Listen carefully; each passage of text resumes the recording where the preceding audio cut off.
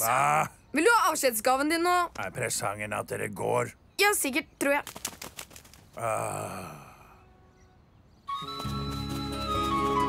Hva er dette? Denne sangen er en gave til deg nå. Som vi har sett de gjøre i filmer og De er ikke bra mødre, greit det òg, men vi lar det gå.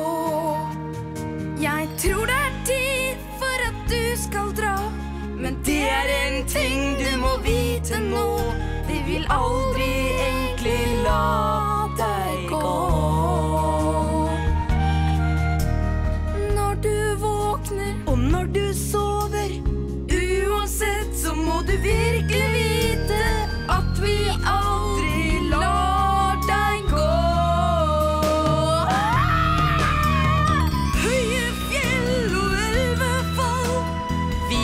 Vi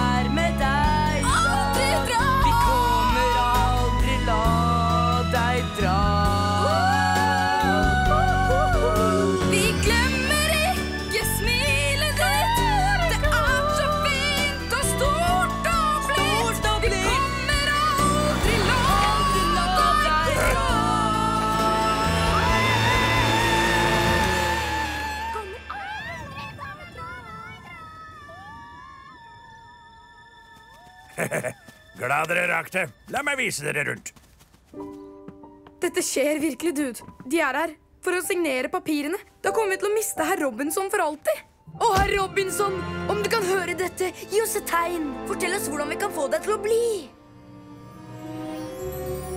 Saboter salget! Saboter salget! Saboter Du, salget! du kunne bare fortalt meg Ok, Saboter salget. ah, God idé